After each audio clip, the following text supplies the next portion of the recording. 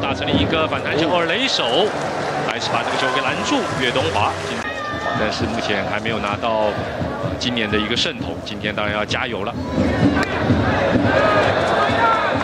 这球稍微高了一点，一好球一坏球。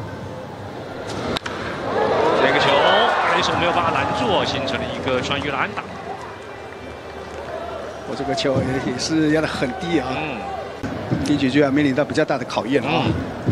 啊，就看他怎么去化解这个危机啊！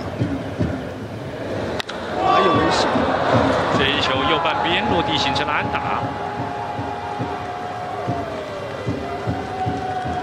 比赛的一开始就遇到了麻烦了，当然今天希望能够表现得更好。我在一开始就遇到了危机了，两好球一坏球。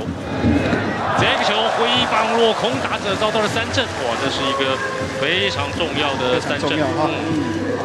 抓到了第二个出局数，这个球引诱成功啊！真的啊！所以其他会使用的球种也还蛮多的哦。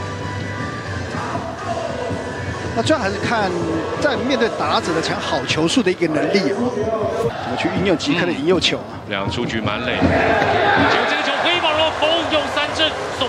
个满垒计结束了一局上半，台钢雄鹰的攻势。